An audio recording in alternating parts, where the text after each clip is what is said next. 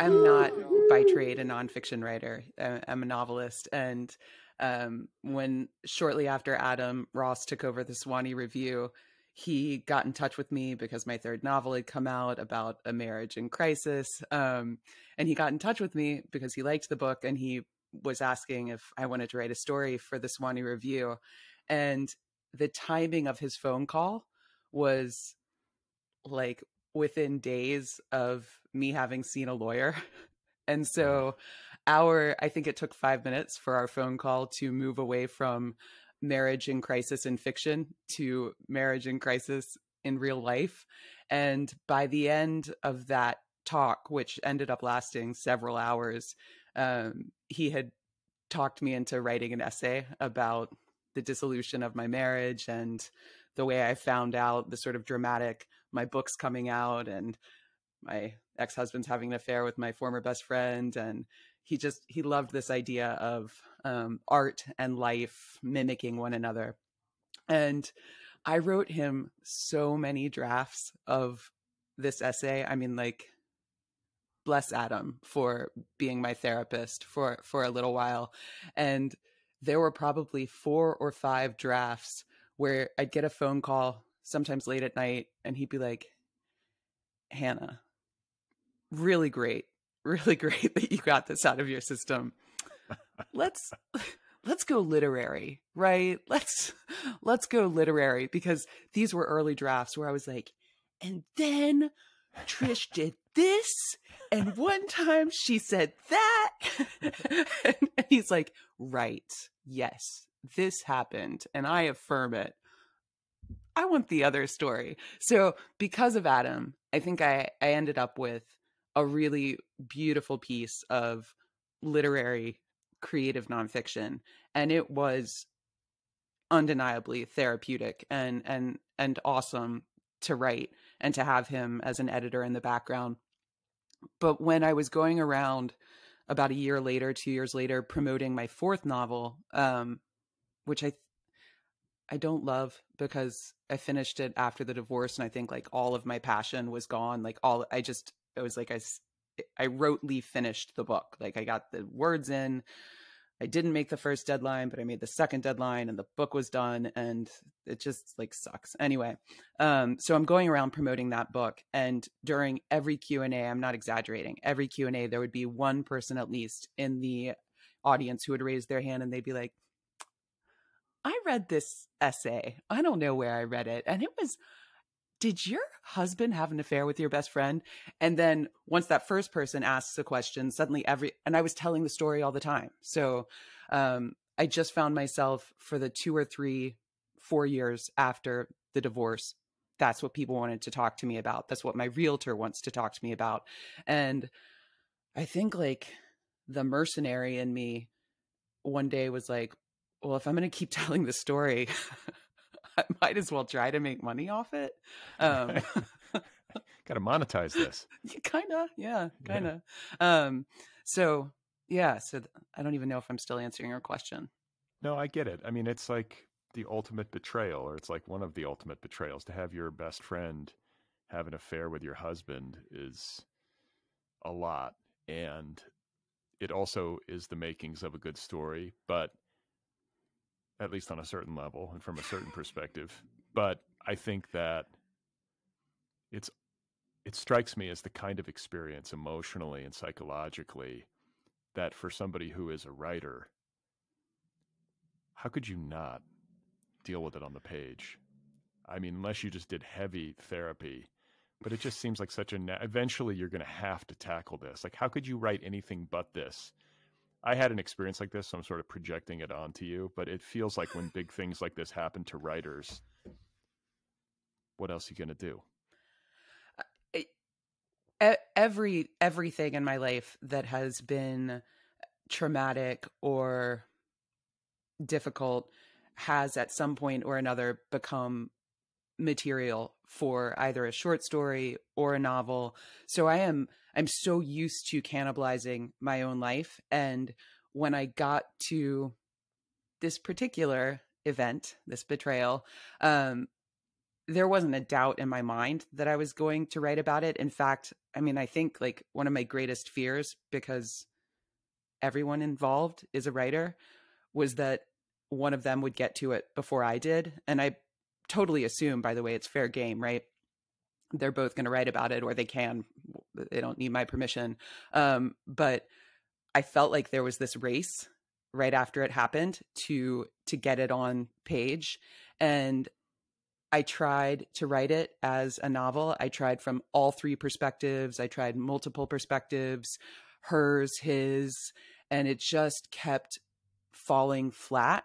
And every every time I would go back to something I'd written when it was when I was fictionalizing it, it just didn't have the kind of it didn't have the weight of truth that all the other fiction I've written had to me. I wasn't like exposing any human experience and I think I just I knew I had to write about it and then, you know, one day during the pandemic, um early in the pandemic, I just came up here to my attic and started writing down the conversations. It was like literally like vomiting out the conversations that I was stuck with that were just echoing, echoing, echoing, and getting those initial conversations on the page is where this project started.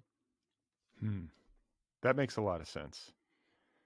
And the the path, like this circuitous path that you take where you're kind of writing away and writing around the real story, which is the story within you from your perspective, and in particular, these voices in your head, these converse, these remembered conversations. It takes a while to get there, and you talk about the emotional truth of the thing not being there as it was in previous works of fiction and you also can as you say cannibalized life experiences of your own in previous works of fiction and yet for this particular story that didn't work. There was no emotional truth that you could get to through fiction that you could find. Do you know why? Was it just because this was so big and so painful? I think so something i'm always telling my students um, especially early early writers there's this desire to have and we're you know i'm a i love nuance. I love nuance and it's like nuance is dead. Um and what i love about my students is that they are young and that the world is still you know it's not been flattened like cormac mccarthy's men you know time flattens a man um life is still just like teeming with like it's all up or it's all down, it's all in or it's all out. And I love that about them because they're just filled with this like youthful passion that you can't even appreciate while you have it. But they're also kind of infuriating because when they write a villain, the villain is often, at least in an early draft, super one dimensional, like Cruella de Vil hates children, kicks dogs, kills puppies, right? Like there's nothing redeeming about the evil person. And what I'm always trying to tell them is nobody, nobody is all bad or in in fiction and specifically i'm talking about fiction um you have to give everybody something that they love every character even even who you think is the most vile if you want your reader to begin to understand them. So, like, you've got a stepmother, right? And she hates her stepdaughter and like she's wicked to everyone and she cheats on the father. Like, that's all great. But like, have her on Saturday morning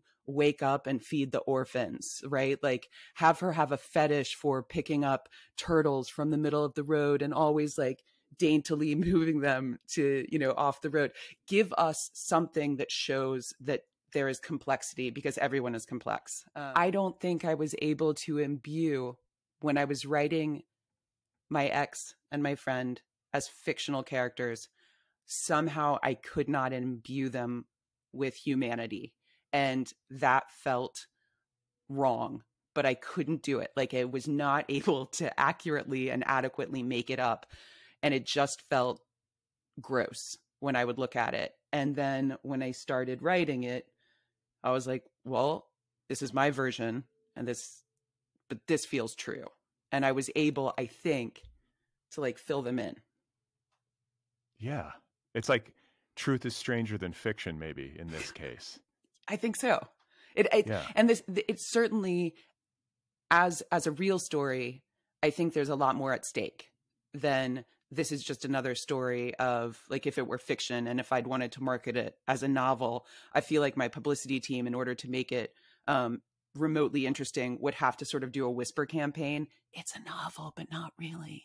It's right. based on her life, right? And right. and I had, you know, I have conversations all the time in my head with everybody, real and imagined, as this book might suggest. And I imagined like the campaign that would have to occur to make the fictional version even remotely interesting. And then I was like, well, I guess this one time I can like just tell the truth, kind of. Kind of, yeah. Kind of. Right. And so let's have you just like as an example so that listeners can get a taste of how you portray uh, one of the villains in this book is the scene where you are out with Trish getting a drink and Trish is your former best friend who had an affair with your ex husband. And Trish is on the page. I think we were joking about this before we came online. Like a great character. It just so happens that she's a real human being who horribly betrayed you. But as rendered on the page, there's a certain charisma and what what's the word for it? Something kind of off the wall about her and I think you should just read it and people can get a sense. May 2007, Hannah and Trish get a drink. A fancy fish place on the downtown mall in Charlottesville. Hannah and Trish both have on outfits. Trish always has on an outfit, right? But this time Hannah and Trish both have on. That's me, as an aside, the author, breaking through fourth wall. Trish, let's stay alone at the bar a minute longer. Hannah, they found a table though. I can see them. They're waving us over. Trish, it's okay. They'll still be there. You don't have to be available to Patrick all the time just because you're dating now. Distance is good. Hannah, I'm not available to him all the time. Trish, look at them watching us. They really love us. Oh my gosh, that's so cute. You're blushing. Hannah, it's the gin. Trish, take a sip. How's the sex? Hannah, wow, straight to that. Trish, Sir, excuse me, could you watch your elbow? I'm drinking a martini with my girlfriend here, and your elbow keeps knocking into mine. Sorry, H. What were we talking about? Oh, right, sex. I don't actually like sex. Have I ever told you that? There's so much I want to tell you all of a sudden. I don't know. Now that you're with Patrick, things just feel different. You're different. Everything is how it should be. We can double date always, and we'll be a perfect foursome. I've been waiting for this. I knew once you'd hooked up, you'd finally get together. Just because it took Patrick a minute to be convinced he was into you doesn't mean he doesn't love you already. Hannah, you don't like sex? With George? Trish, with anyone. I like making out. George is the best kisser. Sex is just bleh. Hannah, do you have orgasms? Trish, you don't have to whisper. Hannah, I'm not whispering. I'm just being a little quiet. This place is a lot busier than it usually is. Trish, because of basketball, there's a home game. Hannah. Oh. Trish. Of course I have orgasm- orgasms, self inflicted orgasms alone at home. Hannah. Huh. Trish. You have orgasms? Hannah. Yes. Trish. With Patrick? Hannah. Yes. Trish. Cool, weird. I'm surprised. Hannah. Why are you surprised? Trish. You had sex with my brother, remember? Hannah. Meaning? Trish. Nothing, nothing. Sir, Excuse me, can you please not push your girlfriend's purse into my space? There's a hook under the bar. You're not supposed to put purses on bars. Ugh. Sorry, H. I didn't mean to keep interrupting you. But seriously, bar etiquette 101 no purses on bars. Am I right? Hannah, you're being kind of loud. Trish, I don't care if they hear me. I want them to hear me. I've been jabbed in the back 10 times by this guy. Frankly, he should buy me a drink after how much I've spilled. Hannah, did your brother tell you about the sex we had? We were both pretty drunk. Trish. No, no. Yuck. I don't talk to my brother about sex. Hannah. You guys are close. Trish. Does Patrick know? About my brother? Hannah. Are you already drunk? You're kind of acting like you do when you're drunk. Trish. I'm not drunk. Hannah. Patrick knows about your brother. I mean, it happened months ago before we started dating, so it doesn't even matter. But yes, I told him about it at the time. We talk about sex. We've always talked about sex. Trish, that'll change. Hannah, we should join them. Trish, let's finish these drinks first. We'll spill them if we try to walk over there. Hannah, you're the one who taught me never to order a drink I couldn't walk away from. Trish, beer. Never order a beer you can't walk away from. This is a martini. This is expensive. Let's finish these and then go over. Oh my God. Look at Patrick. Look at him looking at you. He looks so dumb right now. Hey, Patrick. Hannah, shh. Trish, hey, Patrick. Hannah, put your hand down, please. Trish, Patrick, did you know that Hannah had sex with my brother? Hannah, what are you doing? Trish, Patrick, did you know that your girlfriend had sex with my brother? Hannah, why are you being like this? Trish, because it's funny, because it's fun. Stop being so glum all the time. Now I'm bored. I remember that like it was yesterday, Brad. Uh, yeah, I mean, and the Fucking thing about full it, bar, hate- a full bar. and it's funny. It is. I mean, I know it's painful and like awkward, but it's like funny on the page. I don't know how funny it was in real life, but there's something funny about it and something funny about her. It just so happens that she also betrayed you and it's like amoral or some some part of her is amoral and like just detached. Yeah, detached, right? Like, but but what I love about that scene, and this is what I mean, like imbuing a character. Okay, maybe not humanity in that scene, but I did learn from her. Don't put a purse on a bar table, like on top of a bar top, like, and that's actually a really good lesson, you know, because it spills other people's drinks. And I loved the way that she would actually say to a dude, like, "Stop jabbing me, man! Like, you're you're actually jabbing me." I I loved that about her, you know, and she really did teach me never to order a drink you can't walk away from. Like if you're in a bad situation, if you're in a like stupid conversation, you can always leave. And so I wanted to show that and to show like how much I was still in the throes of her kind of charm while also showing like who the fuck does that? But then for me, who the fuck takes it? Like what? What? Right. I wish I could go back and like shake me by the shoulders and be like, this is your best friend? Right. What's wrong with you? Right, right. And just so people have a little bit of backstory, Trish, as she is named in the book, is somebody that you met in grad school at UVA. Yeah. So this was like an MFA friend. Yeah. Okay. Yeah. And something that you get to in the book, I mean, you just touched on it, but it's worth noting. Like, this was not just like a friend who bullied you or like kind of humiliated you lightly um, before this betrayal. This is a friend who also helped you with grief, get through tough times, get through some loss that you had experienced in your life, and uh, maybe helped you socially. I could imagine a friend like this might help you if you're a little bit more on the shy side when you go into a party with somebody like that or into a social situation. She just kind of takes over, right? More than any romantic partner I've ever had, this was the woman who yeah at a party like i turn bright red i have a hard time with eye contact um like i, I need a drink in my hands kind of immediately um and you know i fret about it. What am i going to say leading up to the whole thing? Like it- parties are just disasters especially in grad school when i was like i think i'm a pretty outgoing person or at least i perform.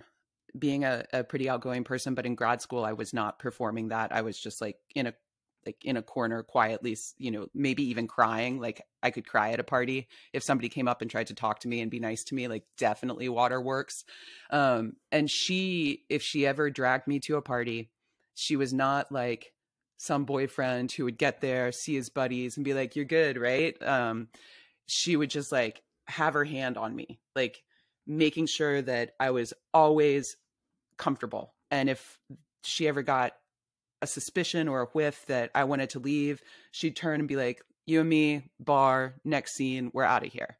So, yes, socially, that was attention like I had never seen, and it helped. Like she's beautiful, you know, um, she's charming. Men loved her, and and that meant you know, I got attention, which was brand new to me. And I, it was just, yeah, it was addictive. And on top of that, um, she she had known some grief early on she'd lost a parent and when my adoptive stepfather was diagnosed while we were both in graduate school um you know people who get grief and and I know I know, I know that you've written and you I know that you know what I'm talking about here um it's amazing to have a friend who if you start crying or if you get quiet isn't like are you okay? Or or you know how like they forget how to talk to you? Uh, like like with your son there are friends who don't know how to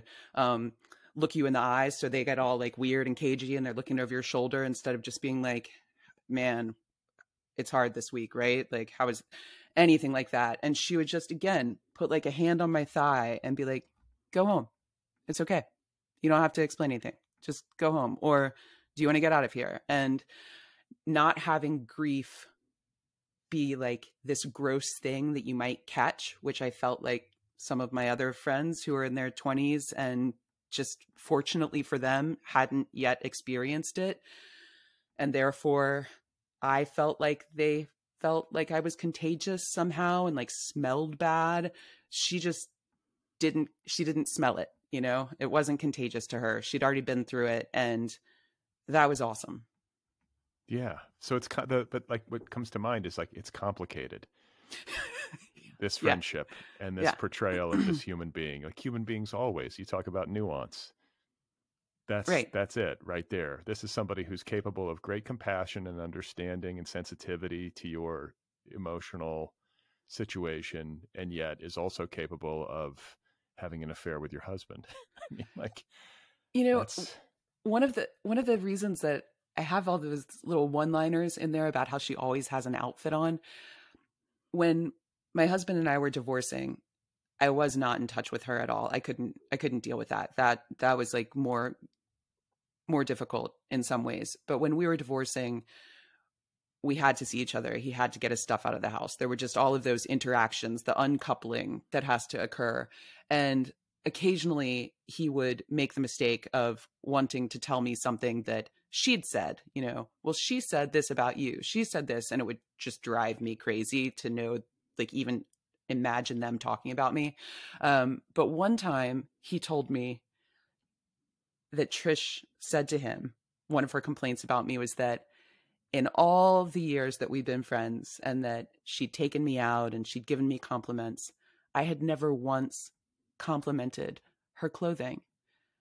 And I can't quite forget that because I always thought she looked great. I was always like jealous of how great she looked and her kind of instinct to just be like a little bit weird and a little bit sexy and like a little bit like crazy homeless cool girl like um and I so admired it and when my husband told me that that was something that had always bothered her it was a real moment of like introspection for me because I was like, oh shit, I might not have ever complimented her, but I meant like I always thought it, but I guess perhaps my own jealousy kept me from saying it.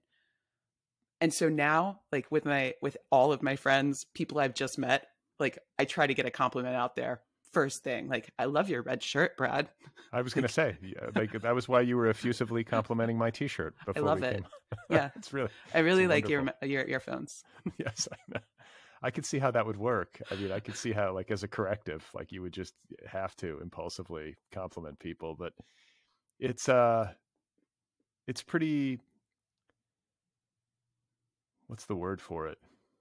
It's pretty amazing, like the multitudes that people contain. And it's also amazing how complex things can get interpersonally and how much can be living subsurface and you just have no idea. Something like that, like this person who is secretly pining for a compliment that you're not giving, even though you're thinking it. And you have no idea until somebody tells you.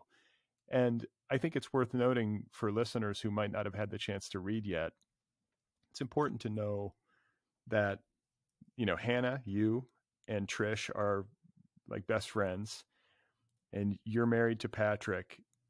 Uh, Trish is married to George, right? Mm-hmm. They're married. Yeah. Yeah. And like the four of you are buddies. Like the whole group is intimate. It's Best not friends. just yeah, it's not like you and Trish are buddies and she has these like passing interactions with Patrick. It's like you guys are always intermixing and socializing and doing stuff and and it's a very like charged foursome, right? Friendship. Yeah, and we we all had um literary ambitions and yeah they were the couple that we traveled for right? We we went to see them wherever they were living they came to see us um and you know in retrospect like duh right? Duh that this happened and if if it hadn't happened when it did happen um i think especially the longer couples stay together the more the more vulnerable they can become. They don't have to become but with with us all of us we also none of us had had children. Um so there's that kind of i think i think that when there's a child in your life there are certain risks that you might still be willing to take but you're aware of like what a big risk it is as opposed to when there's not a child in your life you're like you know it's just like maybe a little bit easier and and i say that as somebody who has a stepdaughter in my life so i don't i still don't like i am i've never grown one um, out of me but I, I have a stepdaughter and she definitely affects how I think of um, my movement, my movement through the world. Like there's a Absolutely. new responsibility. Absolutely. I mean, it's going to impact her. It's going to. I mean, when you have kids, it's like it's a, it's an additional level of responsibility, right? Yeah. Whether it's yours biologically or it's a stepchild, somebody you're helping to raise, and are around a lot, you would have to be pretty detached to not recognize the impact yeah. that your thoughts, your actions and speech are going to have on that person. Yeah. Right? Yeah. so I want to ask you about the emotional process. We've talked a little bit about the creative process of getting to this book in its final form and how you had to kind of try the fiction first and then eventually surrender to the nonfiction.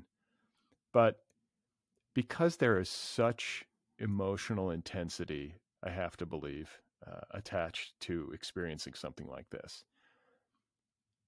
It, it's not an easy place to write from always. I guess sometimes people are like super hot emotionally and like a book just sort of flies out of them, you know, because they're so charged up. But in my experience anyway, I feel like the emotional stuff can sometimes be it can have like a clouding effect and it can make it hard to write well. Can you just to talk to me a little bit about that part of it? Like, where did you have to get to to be able to write well about this? So, I wrote this for the project started four years after the divorce, and um, I think that distance was part of what allowed me to see through the fog of um, those intense emotions that were there at the beginning, and and those intense emotions that are there at the beginning um, of any kind of traumatic event like this.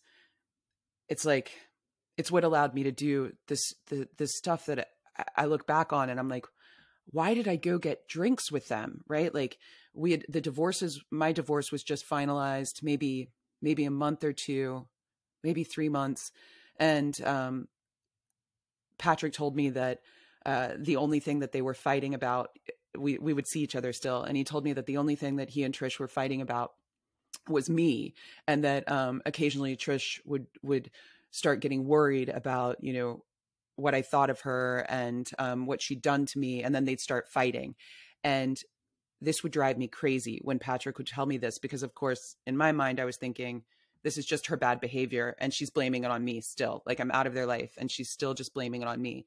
And so because i have some sort of or had some sort of twisted logic i was like i know to show patrick that and to show Trish that I don't care so that she can stop using me as an excuse. And when she behaves poorly and they get into fights, she's going to have to come up with another reason that she's acting the way she's acting. I know I'll go get a drink with them. And it's like, why did I think getting a drink with these two people that I used to get drinks with all the time and suddenly like I'm going to watch her put her hand on his thigh and like him whisper into her ear like it was the most trippy surreal experience and um so all of those like emotions those foggy crazy emotions somehow allowed me to make decisions like that to do that and that was about the same time that i was like i'm going to write fiction about this and of course i can't write fiction about it or i can't even make sense of it because i'm still in the middle of it even though the divorce is over i'm still like in their weird twisted world like allowing myself to get pulled in and making these decisions that i look back and it's it's like i must have been on drugs. I wasn't but it, that's what it feels like. It's a memory of that was my body and i can remember exactly where i was sitting at that bar and watching you know the hand go there on the thigh and all of it being like um and all of this to say uh by the time i was writing it i was significantly less emotionally attached but the conversations had become more regular in my head that were recurring and they'd also become clearer. And it was like these particular memories were just sticking with me. And when I wrote them down, I did not think that I would be exorcising them. That was not the intention. And yet now, seven years away from the divorce, two years having written this, it's like it's they're gone. It's like poof gone except when i open up the book and it's wonderful. It's like i've created this little box and i can open it and be like yeah brad i remember that one. Yeah i remember that one really well. And then i yeah. close it and it's just there. And and i think it makes total sense to me because i love lists. I love lists. And if i write it down my brain gets to be like inactive and calm and peaceful but until i've written the thing down that i need to remember I'm like walking around with lists in my head. You know, I have this thing in the in the middle of the night when I wake up, and if I need to remember to like tell a student to buy a book, a particular book and a particular student, I'll do this whole thing in the middle of the night. Tell a student T toothpaste, toothpaste. When you're brushing your teeth, think about the toothpaste. And when you're thinking about the toothpaste, remember the word T. And from T, you're going to, or the letter T, and from T, you're going to get to tell. Who are you going to tell something? You're going to tell a student. What student are you going to tell? I do this whole thing in the middle of the night. And my boyfriend now is like, so there's a reason you don't sleep. There's a reason, like you're not sleeping. Right. I'm like, give me trazodone and I will sleep. Right, right. Or write it. So now I keep a little book by the bed well, that's I think that's a good yeah. You externalize it in writing and maybe take it out of your brain. But you know, I talk about this maybe too much on this show, but I be, I do believe there is a therapeutic benefit to writing stuff down. I don't know if you write for that purpose. I was just talking with J. Ryan Stradal about this, and he, you know, he was sort of like, yeah, you don't go into it thinking that's like the mission, but it sometimes has that effect. And I believe deeply that it's true. Like there's something powerful about sitting with it as long as you have to sit with it to render it into a work of literature. And then when it's done, after you've gone through that long process, it does feel like there's some distance from it. It's not that your heart is ever going to be fully the way that it used to be. Like, right, there's scar tissue, stuff happens yeah. in life. We absorb these wounds and they stay with us in some capacity. But writing it down in a book and doing that hard labor and that hard emotional labor that it takes to really sit with something like that, it has a healing effect. Absolutely right? agree. Absolutely. 100%. I mean, the only thing now that there are, there are three scenes in here that I did the audio work for this. You did the audio work for your book. Um yeah. Uh and there were I think three scenes that were difficult to get through and um they're the ones with my dog my dog is the thing that chokes me up. And El- Elmer, Elmer, Elmer T. Lee, he was a very good dog. Um, my dog chokes me up, and uh, there's a there's a chapter in part three. So in the in the part that's most traditionally written, um, and it's one of the last chapters I wrote, even though it's in the middle. It's it, it doesn't come towards the end because I wrote it out of order and I wrote part three out of order and then shuffled them around. But there's um, a very last minute addition. Like I think we'd even gone through the f- first past pages and then I ended up putting in this chapter about um, a very, very close mutual friend of mine and Patrick's, um, somebody who I just uh, really admire as a as a human being and and got very close to. But it was Patrick who brought into our relationship. They knew each other first, um, and he showed up at a reading of mine literally the day after I found out about the affair and I had taken the train from New York down to politics and prose in DC and my sister was in the audience my mom's in the audience my professors from Virginia are in the audience like um Patrick's cousin, who is eventually going to marry my sister. Maybe they were already they were married by then. Um, is in the is in the audience. So I'm like surrounded by like Hannah lovers, like people who love me and have supported me. And in comes Patrick's best friend since second grade with a, a newborn, his first newborn, and his wife. And these are people who I've known for a decade.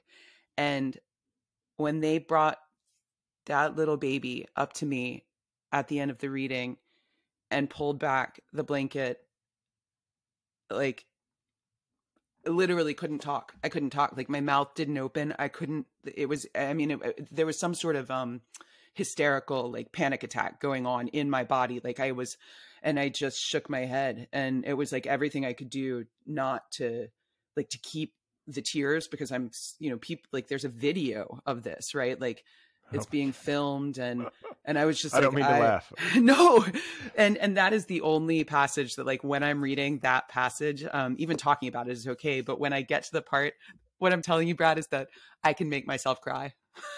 It's like That's i think i'm yeah that's i'm a very powerful writer. I can make myself Yeah. cry but when i get to the part where they like pull back the little blanket and i read it and i'm like Well, there's a purity to the dog love, that love for Elmer, and there's a purity. I think it makes a lot of psychological and emotional sense that suddenly, in the midst of all this, you're so compartmentalized to be giving a reading and to be, you know, on videotape, and to be in front of all these people who know you so well, 24 hours, like right in the wake of all this, right? Like the emotional tumult that you were experiencing I can see how to suddenly come eye to eye with a brand new baby, like this pure being, you know, is probably asleep, but just to be looking at its like sweet little face, I totally get how that could be the thing that undid you, and just like how do you cope with that, right? it was awful can- Yeah, that, that fucking baby. But you know, it was pretty intense that's a great scene in the book. I'm glad you added it. I think it's like, you know, that last third of the book is where the pathos really sort of becomes three dimensional. But I want to talk to you first about creative choices because this is like I think a lot of the early reviews have noted how this is a formally inventive memoir. hmm It is a memoir that in its first chunk is rendered mostly through these dialogues. It's like dialogue only, very little expository writing at all. And you sort of set it up almost like a play or like there's like a scene setting and then the dialogue begins. And what I love about this is that it feels tr- truest to life. It feels true to how we experience really difficult interpersonal stuff in particular, trauma, um, like this kind of thing, an affair, a betrayal. It's going to be remembered conversations, scenes in your head. Or if you're me, there might be like imagined arguments, which this book gets into too. It's like sometimes the, the conversations are remembered and then other times they are speculative. They're like imagined conversations of what you might say if you talk to somebody. That's how the human mind works, right? If you're anything like me, that's how your mind works. Yeah. Yeah, like you walking around like having won the lottery, right? And uh, I, I mean, it, it- you're like paralyzed by this lottery that you didn't even win. Like, what are we going you to mean in- do? in my Yeah, book? you. Yeah, yeah, Yeah, yeah. yeah, Like yeah, I know yeah. that you Okay, do it. yeah right yeah you run these scenes in your head Yeah. and you you know i remember i do this with politics way too much where i'll like i'll have an imaginary debate with somebody and it's like i always win the debate of course you know it's like you have these moments where you say just the right thing at just the right time and then you sort of wake up you snap out of it and you're like whoa you know what, what am i doing you know i'm it's very strange, but I think it's very human. I can um I can get into some I love getting into arguments with people um who are not in the room with me and I do it mostly in in the car um where I can just like get really fired up. Um you know, I imagine, and it starts with an imaginary slight, right? My sister's done something, my mother has said something, or if I'm like really looking for a good fight, my boyfriend has said something, and I like, you know, I even like I'll bait him in the conversation where I lead him, like I guide him to make sure that he says the thing I need him to say, and because because I know these people really well, and because I'm an asshole writer who lives the majority of her time in her head. Um, I think I have a really keen sense of the world, and I think I have a terrific understanding of the motivations of people. And and I like I'm I'm such an I'm such an asshole that I think I know people better than they know themselves. Like you should hear my boyfriend just like roll his eyes at me when we get into a fight, which is very rare. But I'm like, and now you're thinking this uh, like a real fight, and he's like, no, Hannah, that's not what I'm thinking. And I'm like, yes, it is. Yes, it is. And sometimes, sometimes he's like, it's really fucking annoying when you do that. And I'm like, because I'm right. Because I'm right. I like how you characterize like you're like you should hear his eyes roll. Like you, it's actually audible. He's from Decatur, Illinois. And I don't know if uh-huh. you've ever known anyone from Decatur, Illinois, but they I'm from, Indi- I'm from Indiana, close enough. They, so. they get they are capable of like really scary like I'm gonna fuck you up bar room. Like not like he's ever, but just the eyes, and you're like, I'm gonna walk. I'm gonna you know, leave. You know what my Decatur memory is, or like my associated memory with Decatur, Illinois, is the line. The smell of Ferris... cereal. No, it's the it's the line in Ferris Bueller's Day Off where Ferris is calling Cameron repeatedly to get him to skip school, and Cameron's in bed, and I think he says, "My mom's in Decatur. Hopefully, she's staying." I remember that line so well. That's, a very so good. Thing. it's so good. I love that. So I want to talk to you uh, about some more like some of the the interesting dynamics that you had with Patrick and Trish and George and the scene that you were running in that I think serve as kind of complicating factors. The first is that you're all writers, right? Is everybody mm-hmm. a writer? Who, yeah, George, which one? George mm-hmm. George is a poet. George is yeah. a poet. I was trying to think if he was a writer, but yeah, he's the poet. Mm-hmm. Trish was your MFA friend. Patrick is very competitive with you about writing. Mm-hmm. You guys are all friends. There's a lot of drinking. I cannot help but notice in this book. There's a lot of drinking. You guys, there's a lot of drinking, and I the thing I like about it. Here's two things I like about it. First of all, that it's just in there, and there's no real equivocation made or apology and there's no like redemptive narrative arc where it's like and now after all this i'm mm. sober or anything like that like you just social drinkers. Go out and uh, like have a few pops right? It's in there. That's right. That's right. That's that's true. And, yes. and you know what? That's true for a lot of people. It's certainly true for a lot of writers. But i think when you have the kind of dynamic that plays out ultimately in this friend group alcohol is probably a complicating factor. Yeah, I mean, of course, right? Like, and it was a crutch for each of us, and for each of us in a different way. For me, the um, like we could all be our own little archetype, right? Like shy, the shy one, um, the wallflower, uh, the one who's going to drive you crazy because she's always self-deprecating and like, no, you walk on the sidewalk, I'll walk through the mud, right? Like the me version of back like I wouldn't be able to stand me now. Like I'd be like, just walk on the fucking sidewalk. Nobody has to walk in the mud. Like, what are you doing? Anyway, so that's me, right? Like the annoying wallflower who also has to have everything perfect all the time. Like so I drink to like come out of myself and to be fun. Um and then there's Patrick who just loves drinking. Um and uh I think certain boredoms of the world are alleviated and um, you know the the inanities of and indignities of existence are kind of lifted. And so he's drinking for that potentially maybe i don't know. And um, trish is drinking maybe for a reason not dissimilar to mine like um, you know looking back at it now there must have been some kind of insecurity and what I perceive to be just this really easiness with the world and with life. Um, uh, you know, something else was going on for sure. And then, yeah, I think, that, but I do think the men um, had a gravitation towards the alcohol that perhaps was the most potentially dangerous for like their long term trajectory. Um, but yeah, it you could trace an evening for us, pretend that we'd gone to New York to see them. There would be like the twilight hour, like lovely, you know, the sun's going down and we're all buzzed and we haven't seen each other and it's just like awesome. And then there, and that could last like a couple hours. And then there'd be a shift to another bar and then another bar. And then at some point, Trish would disappear. Like, and then somebody else would say that she's down at this other bar and um, she's mad at me for something I did. So then there's like an introduction of like a slight that occurred that I wasn't even aware of. Um, and at this point, because I'm also the unfun one, at this point in every evening, I stop drinking. I'm like, nah, I'm done. And I can last with them for maybe another hour once I've stopped drinking, but that's it. Like, then I'm done and I tap out. So at this point, Trish has rejoined.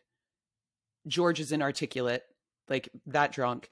And then, you know, Patrick's like talking to some stranger, explaining to them like some political nuance or some nuance of a book and making sure that everybody at the bar knows that he's the smartest and they're the dumbest. And I peace out and leave. And I like go home or go back to the hotel or whatever. Um, and then the next morning, I hear from Patrick about like, you know how awful it was or who got into fights after i left. And then um, at about noon because we'd be visiting right uh, brunch champagne museums art twilight awesome fight like every single time. That was the cycle. Yeah. Yeah yeah sounds very healthy and functional right not dysfunctional at all no no no red flags right I was so, I'll be honest, I was so tired, man, for somebody who was in their late 20s, early 30s. And I don't mean tired physically, I mean eh, emotionally.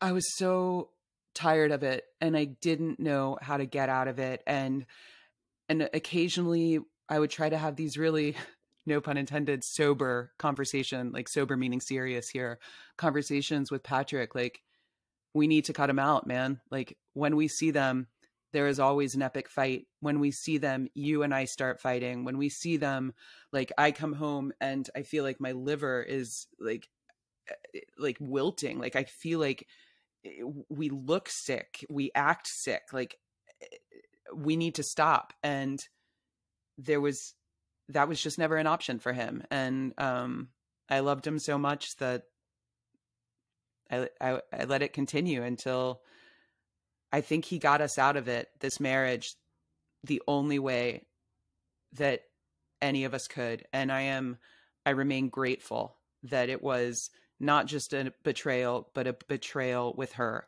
because it was, it was immediate. It wasn't, we can work it out. I just knew. I was like, that's it. Thank you.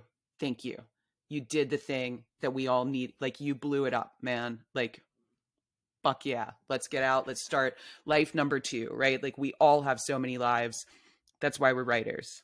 Uh, we we play it out. We fantasize. We speculate. We get into other people's brains.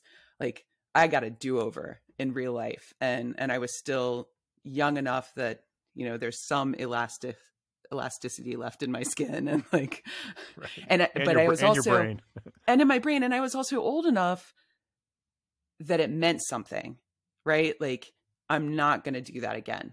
I am changes will be made and i am going to appreciate this new still not sober life right? Like I, I have not found sobriety and i don't want to um but like i have found this great appreciation of just being like myself and as long as i'm not hurting anyone like i'm not going to walk in the mud i'm going to walk on the sidewalk right like it's just it's not a bad it's not bad to like in your mid 30s to actually have a wake up call and get a get a do over like a get out of jail free card is how i always thought about it Well, yeah, and especially when things are as sideways as they got with this marriage and with this group of friends. and, you know, I have to say again, the way that it is portrayed, the way that it was, at least from your perspective, as written, is often funny, even as it's like dark and upsetting.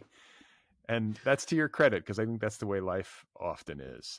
And there was also something, if I may use this term, kind of incestuous about it all. We've already talked about the intimacy among the friends and how you guys were always going out and you know, you were like a team almost. But then on top of it, Patrick, who's quite a character, had this ex girlfriend, Holly, who you would run into and who would come to your house and like steal booze. She was an addict and yeah. she was around. Like she was around to a degree that one's significant other's ex often is not around in a relationship. And so I think this is part of the dysfunction interpersonally, like just with the group. It's another extension of the dysfunction, but it's also, I think, part of the personal dysfunction that you eventually learn to recognize in yourself. This thing about not walking in the mud, tolerating the fact that Holly's just like coming over, like, you know, keeping what, keeping clothes at your house and like taking your booze and God knows what. But like, right? Am I yeah. the, am I characterizing yeah. this in a way that you agree with? It's it's it's perfect. And and and it's funny because I've never thought of it this way before but hearing you describe it makes me feel like I was indoctrinated into a cult. Like because it was always my my perspective of it like I think it's strange that we don't lock the front door and she just walks in and that she's still keeping clothes in the closet that's next to our bedroom. Like I think it's strange that one day I walk downstairs to use the bed bathroom and like I'm naked and she's coming in the front door. Like but it was always I'll never I think I include this in the book. I'm not sure, but like his main complaint with me even when we were together and you can imagine how this just like that I lacked imagination and that like I was I was some sort of like bourgeois like freak that I had to that that everything had to have categories like that an ex-girlfriend had to be an ex-girlfriend and he would always say I've stayed in touch with every one of my ex-girlfriends and like meanwhile me my ex-boyfriends where are they who the fuck knows? Like, that is not me. Like, pew, life, nope. That was good. That was awesome. We learned something from each other. Goodbye. Like, but he he was in touch with all of his ex girlfriends. I've had dinner with every single one of his ex girlfriends. Like, why? Why, man? Isn't that weird? But they they made me feel like I was the bourgeois freak, and I bought into it. And like, I I hope Holly comes across as like as compelling and like terrifying as she was to me because she was also older. And um she was a musician. She she you know played music on the downtown mall in charlottesville and she just had she had this like she oozed charisma like she should have been famous. You know how they talk about um some of the famous rock stars that that that you're just like you want to fall on the floor apparently like start having sex with them you're a perfectly normal person but you're in a room with them and you're like i don't care right. take my baby like i don't care i love you forever she had that kind of quality which also just freaked me out like because with the with the drugs and the drinking and like you know roman roy do you watch succession no, I don't. Uh, I'm, so bad at TV. i will okay. watch it in like it's okay. Don't years. waste your life. Don't. It, but there's an actor who's just he's one of the call, Macaulay Culkin brothers. He's one of the Macaulay Culkin. Culkin is last name. Kieran Culkin. Yeah, he's that one. He like the way he kind of worms across furniture. Every time I see him, he's a beautiful actor as far as like what he does with his body. It always reminds me of her. She could just like she'd walk into a bar and she'd somehow like be on it and near it and like across the bar, like grabbing someone else's drink and like, you know, her hands up someone's it was she was just like tentacled and um, fascinating. And so, and she, and she got to be like the, the ex girlfriend who was just like always there. And I'm like, Hannah, the straight one. Like, hmm. I'm rigid yeah, Hannah. It's, it's not exactly the same, but I remember feeling much the same way, like in a kind of, in a kind of different sense when I was in college and I would be with my friends and we would be like on drugs and I would be like I would be like wow shit is weird or like this is fucked up or like hey guys look there's a cop or you know and they'd be like And I went to Boulder, and everyone was like, "Dude, why aren't you just? Why can't you just mellow out?" And I'd be like, "Mellow out? Like I just took like two hits of acid. I'm supposed to mellow out? Like, like I was I was constantly the guy who like wasn't mellow enough, and I'm just like, dude, like it just seemed disingenuous to me, and I felt uh I internalized that. I felt like there was something wrong with me because I couldn't. It was like the it was like some sort of like contest to see who could act like they had taken nothing do you know what I'm saying? Yeah, I do. I was like, we we just took stuff on purpose. So why are we trying to act like we didn't take anything? Like you know, but my anxiety, I, I have. I'm like the happiest pessimist you'll ever meet, and I have really high anxiety that I don't treat deliberately because it I channel it into my writing, and I I greatly enjoy my anxiety for the most part, um, and the people who love me tolerate it for the most part. But I've tr- I've tried drugs, like obviously, and it just it makes they make me feel stupid and then like i want to tell people how stupid they make me feel um like while i'm on them especially pot i'm like yeah and i, I want to get quiet because i know the minute i open my mouth i'm like that's the dumbest thing that's ever been said and yeah. it just makes me so anxious yeah i'm the same way i mean i, th- I think it, uh, with age too like i don't know how there are some people I think who are wired and can take cannabis and it's like just like an accentuator almost. They just are basically normal but a little happier or something. But for me, I turn into the most boneheaded, thoughtless version of myself and completely useless mm-hmm. socially. So it's like I don't even, you know, there's no point for me unless right. every once in a while, you know, like but not it's not something I enjoy all that much. Yeah. And I want to talk or I actually, you know what, before we get any further, I, I want to actually have you read again because there's a section of the book where you're interacting with Holly, your ex husband's ex girlfriend. and I think that the dynamic there is so interesting. And I also think, it, you know, this is sort of how the reader in your book learns one of the ways the reader learns that this marriage is not worth keeping for many reasons, but it's the way you start to get information that maybe you're not on the right journey. So just read this section where you're with Holly. Maybe set it up a little bit and then Yeah, so um she shows up occasionally in the book, sometimes in certain scenes um it's when she's still in a relationship with Patrick. Um and then at this point this very brief scene. It's after they've split up, um, and a few months have gone by, and Patrick and I started seeing one another, and for some reason that I'm sure made sense to us at the time. But now looking back, I'm like, what was that about? We decided not to tell anybody. We didn't um we didn't want anyone to know. And I think part of it was there was a lot of pressure like coming from Trish and George. Y'all should be together. Like you're best friends and you see each other all the time and you're always playing Scrabble. And his parents loved me.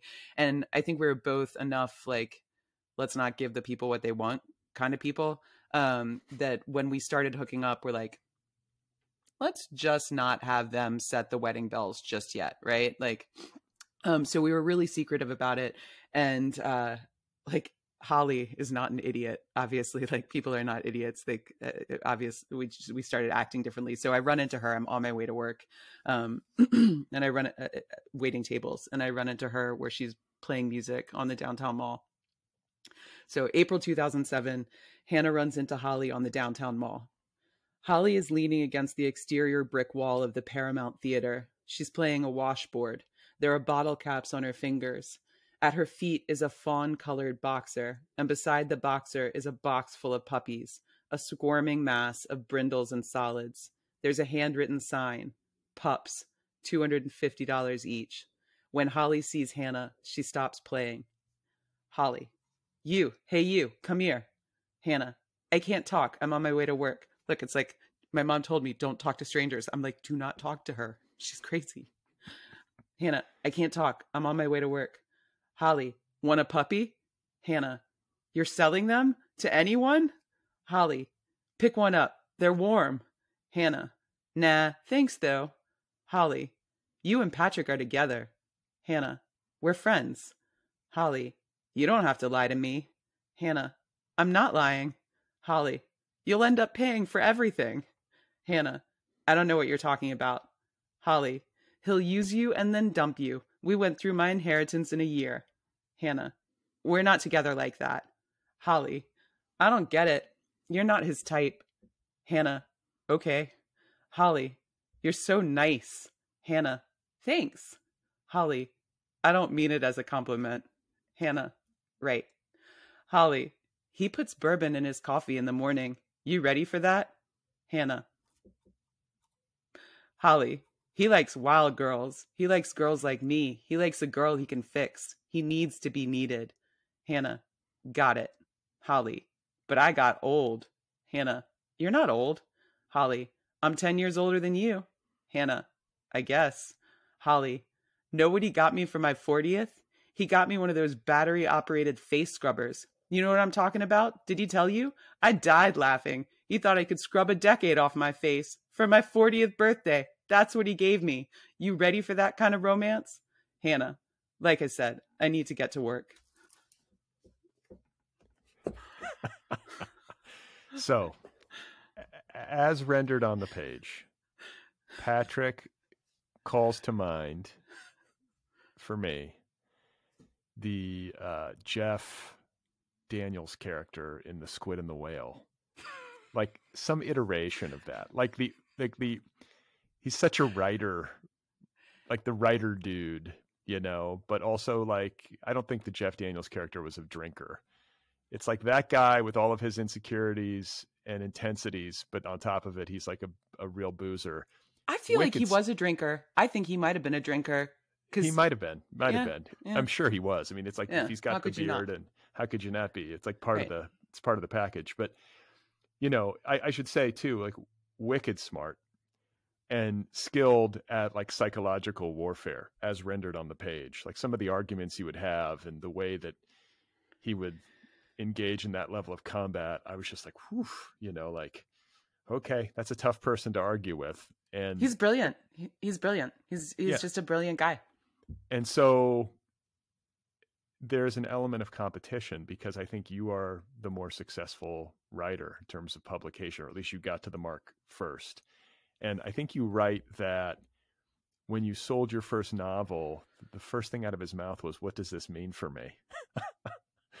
which is so telling. I'll never forget that like, either. What? We were at a coffee shop yeah. and um, I had to go wait tables, and it was supposed to be like the most exciting day of my life. Like an auction was going on. My my agent set up this auction. It was a Friday. No, it was a Thursday. I know it was a Thursday. It was raining outside, um, and we didn't get internet connection. We were living for free at my mom's farm because we were so broke, and we came into town so that I could check my emails as my agent was sending me offers and before i had to go like literally wait tables at four o'clock and we moved from a couple different coffee shops over the course of the afternoon and i was getting these phone calls like okay we got an offer $10000 like that's the opening offer and like you know i'm broke broke up to my elbow like $10000 i'm like sell it now sell it now and he's like that's the first offer um, right. And so it was like the most it's it's the stuff of life, right? Like and in this way, if I made this fiction, somebody would say it that's too perfect. I don't believe it. Like it's just too perfect it happened this way. It is the up until now like the highlight of my career.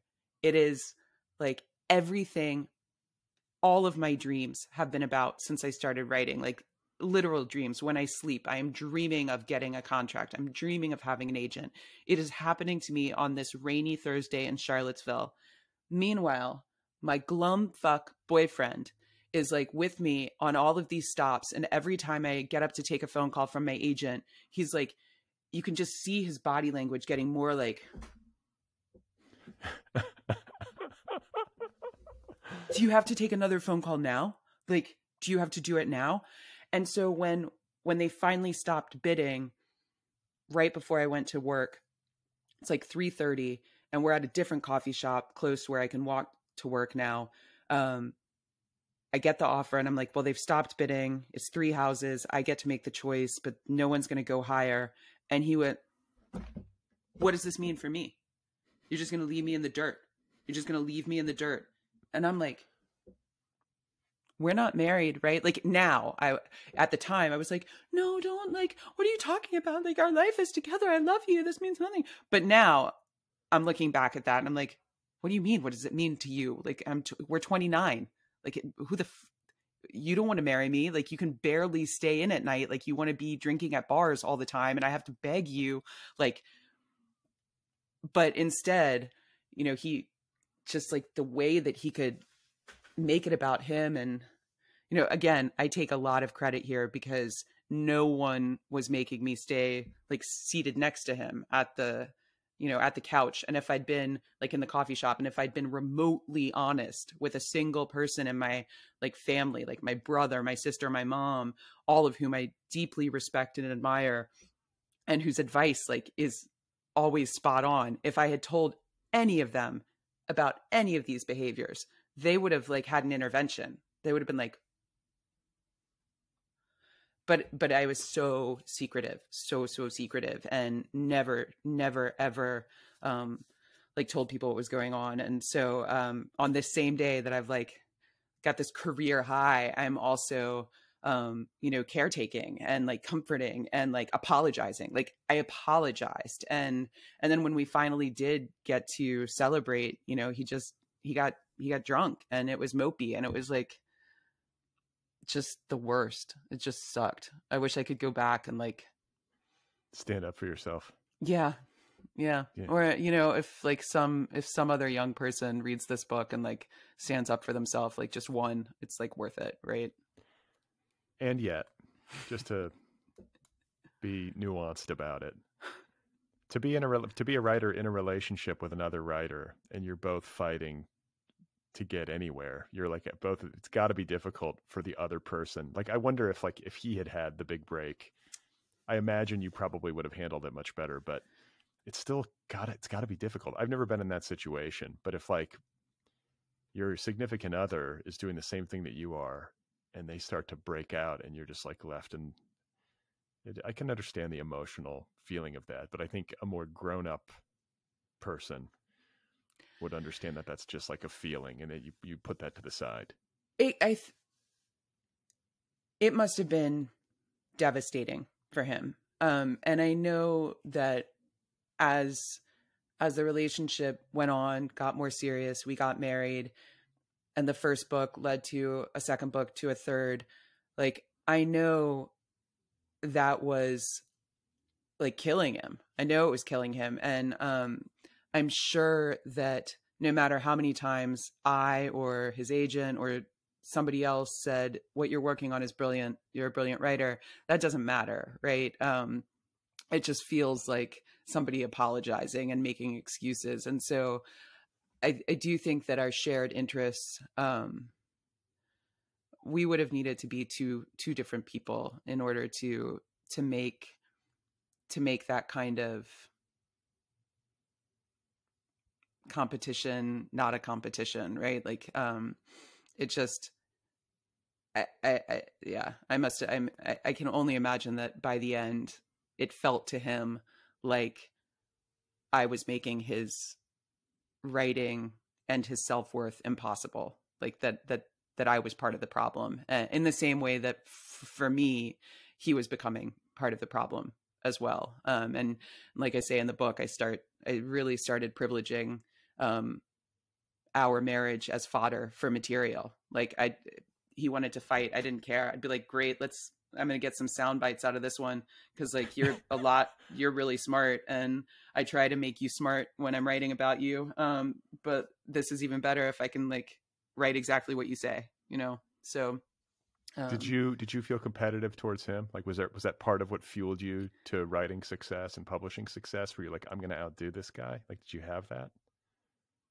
No but does that make me sound like i'm like no i didn't i didn't i didn't. And part of it is maybe because i had the book deal first um and i had the first you know i my i had a first published story so um and i think this is where we get into the complexity of people. I've talked about myself as like this shy wallflower but i also have like this enormous um like i'm also like really confident about this one aspect.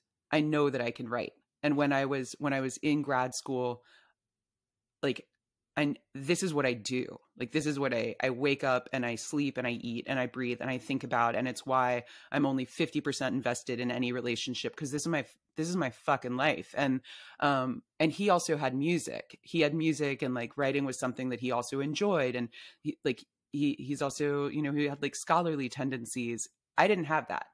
I had one thing. And so I never felt competitive towards him and that's not to say like i didn't think he was talented but like no.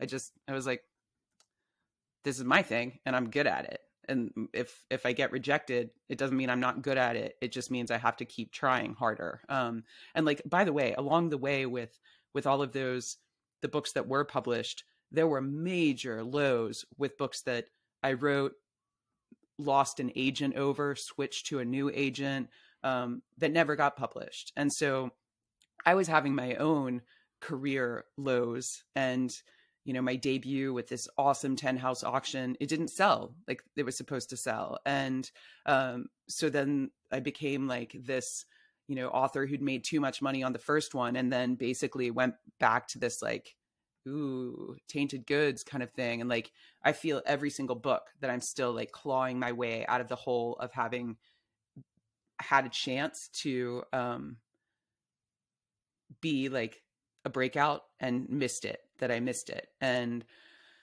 so no, I just, uh, no, I never felt competitive towards him.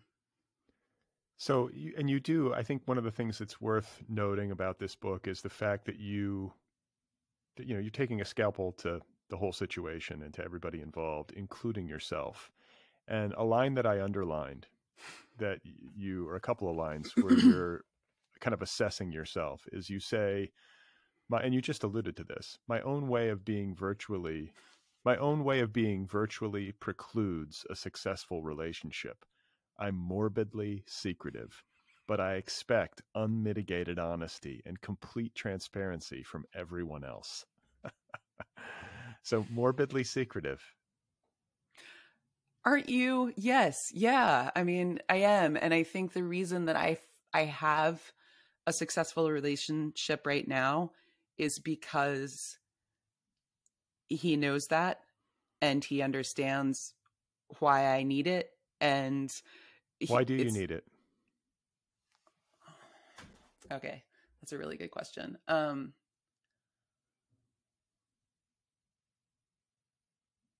so I I had a therapist for a little while, and I think they would say I have trust issues, and that that like, and she might have said it, and that would be a bad thing. And like, I hear you have trust issues, and I'm like, yes, that seems like a very safe and healthy way to navigate this like fucked up dog eat dog world. Like, that is correct to me. But also, like, I don't want to share. I don't want to share everything. I want some shit just to be mine. Like, ew, gross. Like, fuck, no. Like, right. just, I, I mean, I'm I'm rendered inarticulate here, but um, because it makes me feel happy to have secrets and like I also think I, I said earlier that I think I have a really great understanding of other people and I spend a lot of time trying to understand their motivations. I guess there's part of me that must believe that by holding back a certain amount, I am ultimately unknowable, that I am describable and um, lovable, but like ultimately unknowable and why is that important? I have no idea but it makes like it makes my body and my brain feel better. Hmm. safer. Yeah maybe yeah. I uh i mean this book covers so much ground. I cannot part company with you without at least touching upon the fact that one element of the personal narrative that you're delivering in this book has to do with your relationship with food which has been an issue uh, in your life for what uh, since you were a teenager. You go yeah. back to the beginning, I believe. Yeah. When you were so, and you sort of uncover like the it's interesting that moment. You've kind of like dialed it all the way back to like the what's the word? Like the original moment. It's like the origin story. Yeah, that's what I mean. Yeah. yeah, the origin story of like this, you know, battle with food and bulimia, and it's just another component of, I don't know, Hannah making her way through early adulthood, getting to know herself, the struggles we all have. If it's not that, it's something else, right? Like we all have our stuff, but it's a big part of this book, and I think it it's related somehow, right? Well, it's also me not to... asking for help, right? Like um, in the same way that I made sure that my family had no idea what was going on before I was married, and then once I was married, it was like lockdown. Everything was to I life was wonderful. Life is great. It it was just like a lockdown, and occasionally, you know, my sister would get these whiffs, and towards the very very end, like I'd go on a run with my brother, and he would say things like, you know, divorce isn't a terrible idea, and I'd be like, what? Why would you even talk about divorce? And he'd be like, you know, sometimes we talk when you're not in the room about how Patrick talks to you, and I'm like, Patrick loves me, and they're like you know, you, you could see them sort of like tiptoeing towards me. And in the same way, um, once once the body dysmorphia kicked in and um, the eating, like first the control of eating with anorexia, and then um, the shame for me, the shame of bulimia, like um, as though I was doing something wrong, right? And in fact, the one time, the one time my mother um, was on to me. She got a phone call from my brother who was in college at the time, and I was home from boarding school. And she, the, I remember like there's this 7 a.m. phone call, and I was like, it's Saturday and it's seven. And my mom comes storming into my bedroom, and she's like, that was your brother on the phone and I, i'm thinking my brother's dead right uh, not dead but like there's bad news like what's wrong is everything okay is my dad dead like what has happened and she's like you puke? You're a puker? And she made, she got me out of bed and she made me stand on a scale. And at, at the time, I was such a cynical, already so cynical and so um, separated, like from body and brain and from actual circumstances.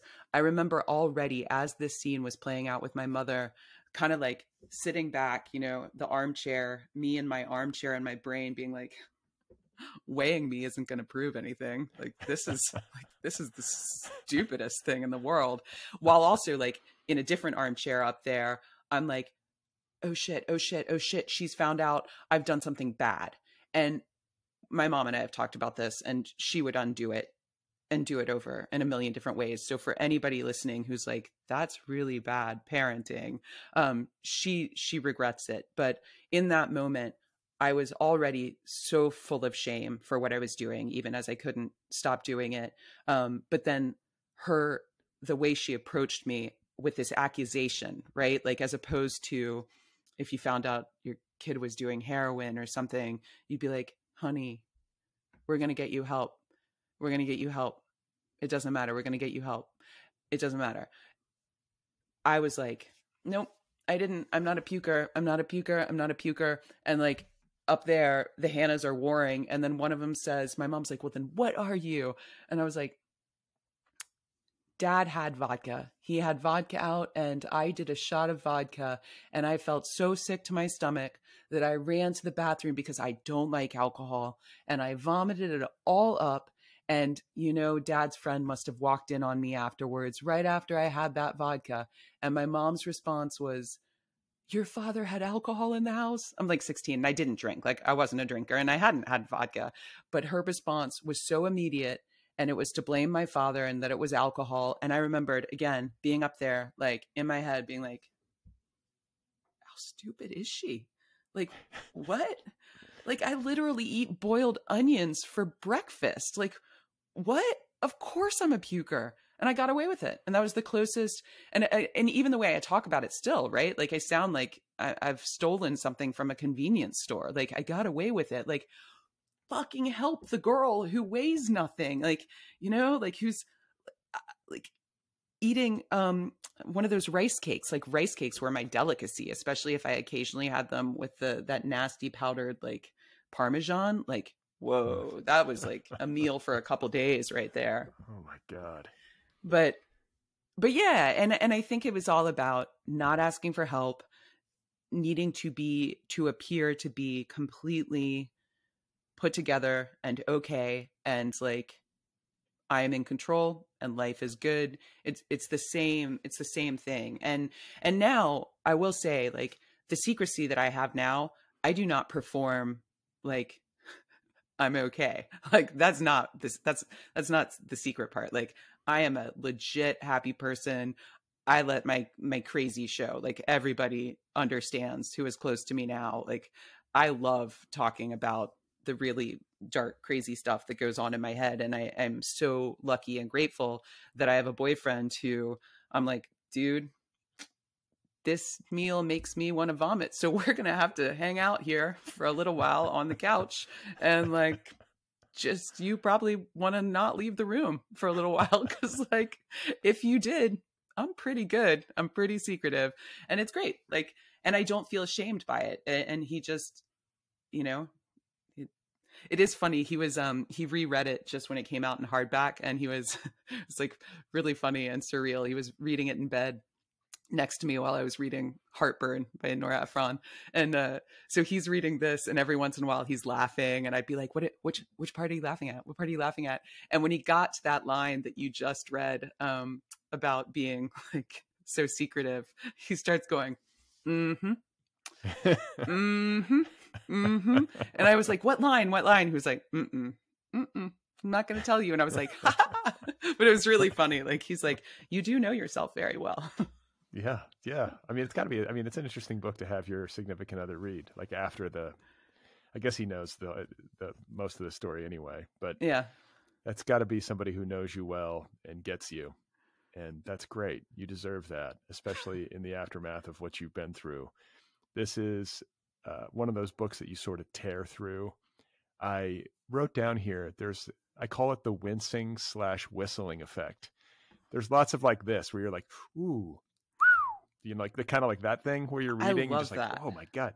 There's lots of moments like that, you know, where you're just sort of like wincing in pain, like you're feeling it as the reader on behalf of Hannah in the book. And then maybe like, wow, whistling and being like, she said it. Like there's a lot of really bracing candor, and you have a lot of courage uh, as a writer, kind of going in there, and it's what makes the book succeed. So, congratulations to you for enduring all this and then finding a way to render it in art, I think it will be helpful to people. Or, I don't know, titillating and interesting and fascinating, but in particular, I think helpful to people who may have dealt with some kind of ruptured intimate relationship. And I'm glad that you wrote it. I imagine you feel better having written it. And I wish you well in this new relationship and with all that you have going. So thank you. I forgot Brad. to ask you: Are you are you work? Yeah, are you working on another book? I always it feels like maybe especially rude to ask that after this one, but I, I always ask people if they have something else in the pipeline. Is it the case? Um, I'm working on a book that the the announcement's coming out. I haven't finished it. The announcement should come out soon, but it's um about a writer named Hannah. It's autofiction, it's about a writer named Hannah. Um, it's a comedy, dark, dark comedy about um, the writer Hannah who finds out that her ex husband is publishing his debut novel, and the debut novel is about uh, the dissolution of their marriage. Um, and then, like, meanwhile, on the on the eve of finding that out, like her extended family is starting to move to town to this small midwestern town in Kentucky. Um, and so it is it's like hilarity and um, psychological anxiety ensue. So you're going to get another book out of this. That's interesting. Maybe it'll be a trilogy. Like you know, like but i well, like that. It's like looking at it it's like a prismatic thing. You're like looking at it from another angle right? Or like exploring these themes in this subject matter a bit more but from a different perspective and you found a way into fiction with it after having done the memoir. and i found a way into fiction. So yeah well, I'll be excited for that one. And uh, truly, congratulations and all the best. This was great. Thank you so much. I loved this conversation. Thanks, Brad.